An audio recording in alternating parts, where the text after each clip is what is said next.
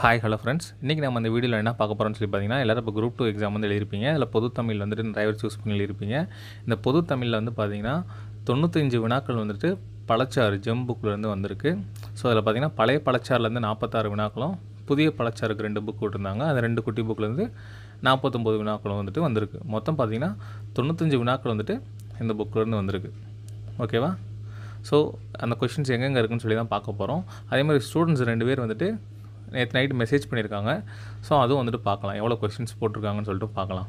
இந்த புக் வேணும்னு நினைக்கிறவங்க இந்த டிஸ்பிளேயில் தெரியக்கூடிய seven three seven three four five double one double seven இந்த நம்பருக்கு கால் பண்ணி ஆர்டர் பண்ணி வாங்கிக்கோங்க. ஓகேவா இப்போ பார்த்தீங்கன்னா நேற்று நைட் ரெண்டு பேரும் சடனாக மெசேஜ் பண்ணியிருந்தாங்க. இந்த ஃபஸ்ட் பிக்சரில் இருக்குல்ல அதை பாருங்கள் அவர் ஃபுல்லாக இங்கிலீஷ் மீடியமாக ஸோ குரூப் ஃபோர்காண்டி தான் வந்து நான் தமிழ் மீடியமே மாறி படிச்சிருக்கேன். ஸோ சுரேஷ் வெற்றி சங்கர் எல்லா மாடல் எக்ஸாம் எழுதினேன் செவன்ட்டி டூ செவன்ட்டி ஃபைவ் தான் வந்துச்சு. ஏன்டா சூஸ் பண்ணுன்ற மாதிரிலாம் கூட ஆகிட்டேன் லாஸ்ட்டில் இப்போ டிஎன்பிசி ஆன்சர் கீழே பார்த்தீங்கன்னா எனக்கு எயிட்டி ஃபைவ் கொஷின்ஸ் வந்து வந்திருக்கு. ஸோ அதனால் பார்த்தீங்கன்னா நான் ஒன் ஃபிஃப்டி டூ கொஷின்ஸ் வந்து கரெக்டாக இருக்கேன் அதுக்கு காரணம் உங்கள் ஓல்டு பழச்சார புக்கு தான்ற மாதிரி சொல்லி போட்டிருக்காரு. அடுத்து ரெண்டாவது பிக்சர் எங்கிட்ட இருக்குல்ல. ஹாய் ஐ எம் திவ்யாசான்னு சொல்லிட்டு. ஸோ அவங்க என்ன போட்டிருக்காங்கன்னா அவங்க நாலு வருஷமாக டிஎன்பிசிக்கு படிக்கிறாங்களாம். பழைய புக்குக்குரிய நோட்ஸ் எல்லாமே அவங்களே வச்சுருக்காங்களாம். புது புக்குக்கு மட்டும் நோட்ஸ் எடுக்க முடியலன்றக்காண்டி த்ரீ மந்த்ஸ்க்கு முன்னாடி நம்ம வீடியோ பார்த்து அவங்க அந்த புக்கு வந்து ஆர்டர் பண்ணி வாங்கியிருக்காங்களாம். ஸோ லாஸ்ட் டைம் ரிவிஷனுக்கு எனக்கு ரொம்ப யூஸ்ஃபுல்லாக இருந்துச்சு சார் ஸோ தமிழில் பார்த்தா நைன்ட்டி செவன் கொஷின்ஸ் வந்து போட்டிருக்கேன்னு சொல்லியிருக்காங்க.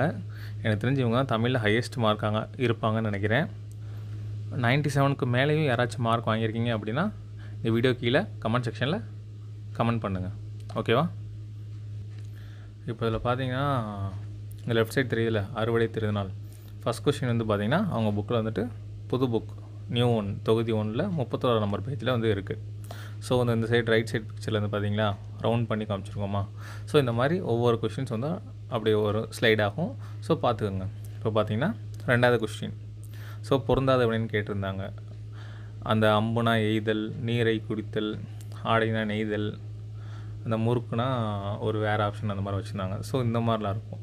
அடுத்து மூணாவது பாருங்கள் ஆறாவது கேள்வி. ஆறாவது கேள்வி எங்கே இருக்குன்னு பார்த்தீங்கன்னா தொகுதி ஒன்றில் இருக்குது கல்வி கரையில் கற்போர் நாள் சில.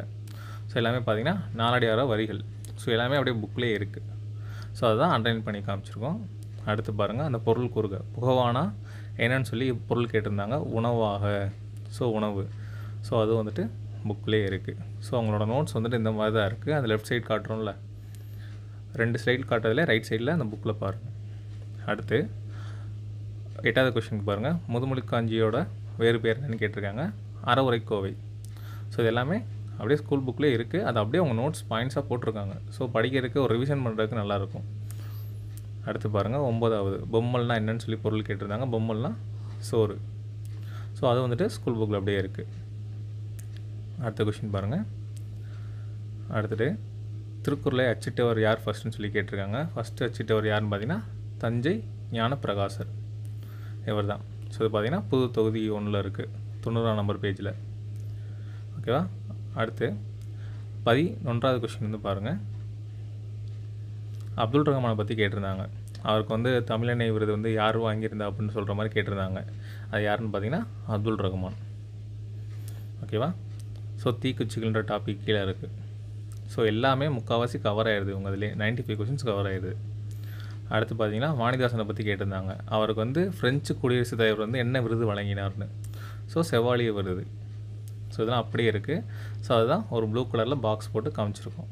பாருங்கள் அடுத்த கொஷின் பாருங்கள் திராவிட நாட்டின் வானம்பாடி என்று அழைக்கப்பட்டவர் யாருன்னு சொல்லி கேட்டிருந்தாங்க. யாருன்னு பார்த்தீங்கன்னா முடியரசன்.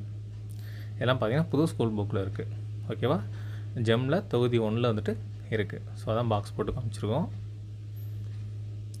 அடுத்து பாருங்கள் ஃபஸ்ட்டு அரசவை கவிஞர் யாருன்னு சொல்லி கேட்டிருக்காங்க. யாருன்னு சொல்லி பார்த்தீங்கன்னா நாமக்கல் கவிஞர். இது பார்த்தீங்கன்னா புது புக்லேயும் இருக்குது பழைய புக்லேயும் இருக்குது ஓகேவா ஸோ பழைய புக்கில் இருக்க இமேஜ் வந்து காமிச்சிருக்கோம். ஸோ அந்த பாக்ஸ் போட்டிருக்கோம்ல அதுதான் அடுத்த கொஷின் வந்து பாருங்கள் சான்றோர் பாலர்னு சொல்லிட்டு ஒரு கேள்வி கேட்டிருந்தாங்களே அது பார்த்தீங்கன்னா புறநானூர் தான். அதே மாதிரி மேலேயே பாருங்கள் பொன்னும் துகிரும் முத்தும் நுண்ணிய அப்படின்னு சொல் மன்னியன்னு சொல்லிட்டு ஒரு கேள்வி கேட்டிருந்தாங்க.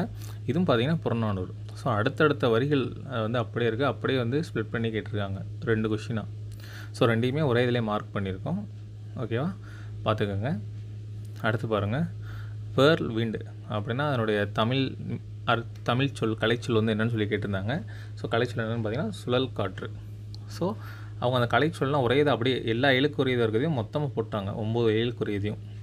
ஸோ தான் இயல் ஒன் இயல் டூ இயல் த்ரீ அப்படின்னு சொல்லிட்டு அப்படியே வரிசையாக இருக்குது அடுத்து பிழை திருத்தம் வந்து கேட்டிருந்தாங்க. அந்த மலர்களை பற்றி கேட்டிருந்தாங்க.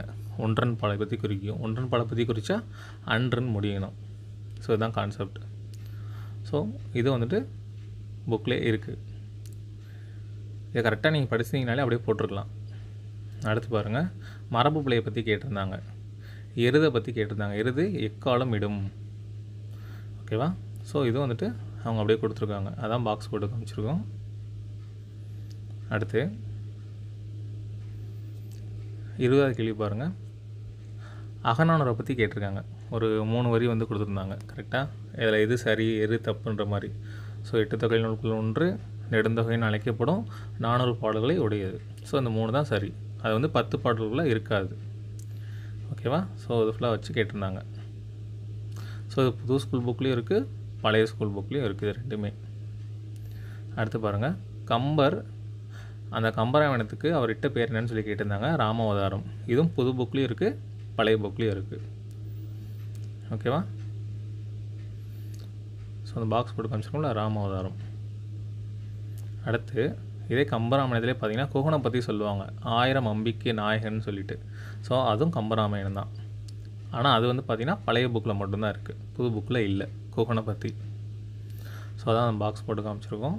இது வந்து பழைய பழச்சாறு புக்கு அடுத்து பாருங்கள் பொறுத்துக்க வந்து கேட்டிருந்தாங்களே. ஒரு நாலு பேர் கொடுத்து பீச குப்புசாமி அவர் என்ன நூல் எழுதினார். அவருடைய நூல் பார்த்திங்கன்னா ஒரு அரசு பள்ளி ஆசிரியரின் குறிப்புகள். இதேமாரி நாலு பேர்த்துக்கு இருக்கும். அடுத்து இருபத்தஞ்சாவது கொஷின் பாருங்கள் தேவராட்டத்தில் பயன்படுத்தக்கூடிய இசைக்கருவி தேவ தந்தும்பி. ஓகேவா அடுத்து பாரதியார் கடிதங்களை என்னும் நூலை பதிப்பித்தவர் யாருன்னு சொல்லி பார்த்தீங்கன்னா பத்மநாதன். ஓகேவா ஸோ இதுவும் புது ஸ்கூல் புக்கில் இருக்குது ஸோ அதான் பாக்ஸ் போட்டு காமிச்சிருக்கோம். அடுத்து பாருங்கள் குறுந்தொகைகளை பற்றி அதனோட அடிகள் வந்து கேட்டிருந்தாங்க. ஸோ நாலு டு எட்டு. இதெல்லாம் பார்த்தீங்கன்னா பழைய ஸ்கூல் புக்கில் இருக்குது அடுத்து சீத்தலை சாத்தனாரை வந்துட்டு தண்டமிழ் ஆசன் என்னும் அழைப்பாங்க. தண்டமில் ஆசன் நன்னூட்புலவன் ஸோ இது கேட்டிருந்தாங்க யாருன்னு சொல்லிட்டு.